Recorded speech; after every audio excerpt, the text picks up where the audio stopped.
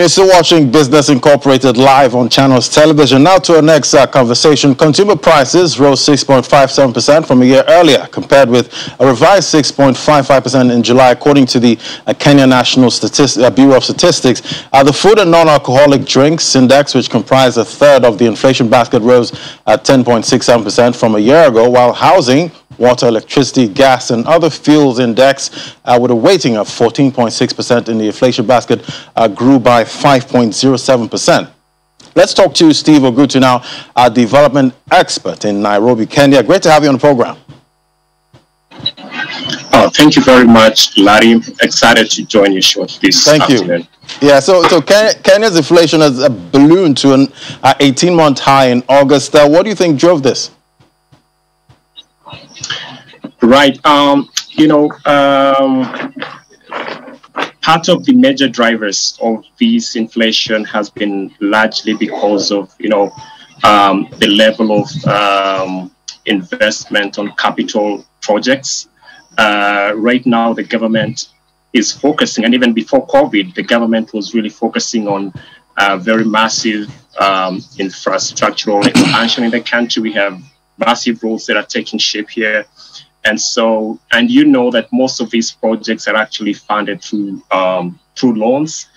And, and, and so what it means is uh, citizens have to be taxed more in order to um, to repay back some of these um, loans and stuff like that. And um, also COVID again came, came in and this again um, affected you know so many aspects of our economy the supply chain uh, were severely affected and what this meant is commodities such as uh, food, um, electricity, fuel, you know, had to really skyrocket in terms of prices. And this definitely had an impact um, in our economy as a country.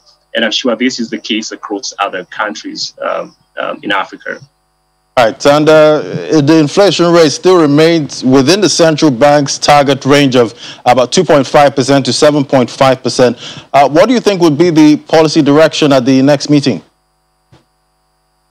Right, what I think the government uh, need to do is basically focusing on relooking its fiscal policy.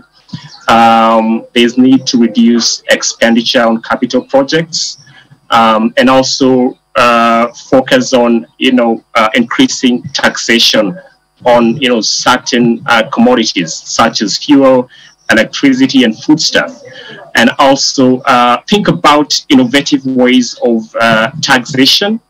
Um, I think those are very uh, key areas that the government could be considering um, in the coming few few months. Yeah and Kenya is heading to an election next year. Uh, what do you, what's your outlook for uh, the economy going forward?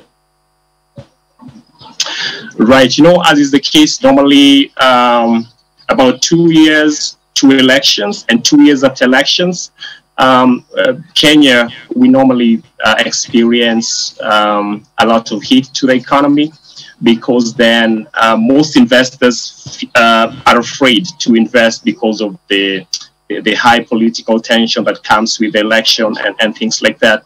And so we expect that the economy is going to experience some recession uh, and then peak uh, maybe around 2024 thereabout.